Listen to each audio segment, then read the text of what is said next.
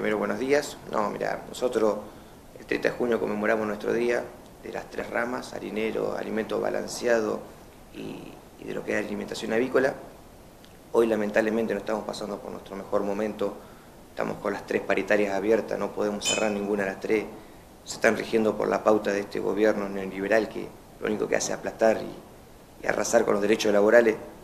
Eh, estamos a poco tiempo de empezar con un plan de lucha en las tres ramas, que nosotros creemos que, es, justo empezar con ese plan de lucha, porque los compañeros no pueden seguir perdiendo poder adquisitivo, más viendo cómo, cómo va evolucionando esta economía, que es un desastre, que no entendemos a dónde va.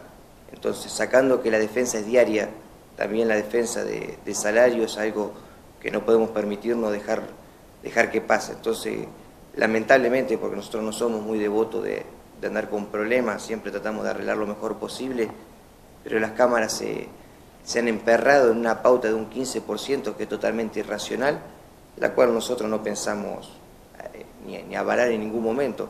Pero bueno, sacando las paritarias, tenemos mucho cierre de fábrica, muchas suspensiones, eh, mucha incertidumbre que los compañeros la están mostrando todos los días.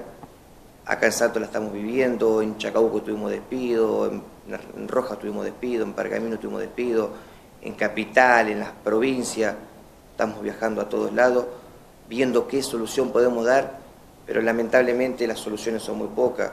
Nosotros todo lo que tenemos a mano lo, hacemos, pero lamentablemente cuando llegamos a los ministerios, los ministerios nos están pegando una cachetada, como se diría, porque bajan la misma línea que baja este gobierno, que es, es en contra de los trabajadores.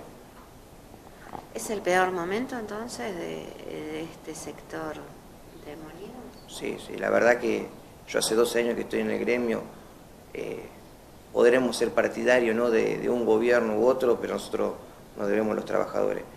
Y, realmente en estos 12 años que me tocó ser sindicalista, eh, es el peor momento de todo, y lo peor es que no es el peor momento solamente, es que no se ve un, buen futuro, se vienen tiempos peores, para los cuales nosotros estamos preparados, gracias a Dios, y, sabemos que vamos a dar la lucha que haga falta para defender a los compañeros.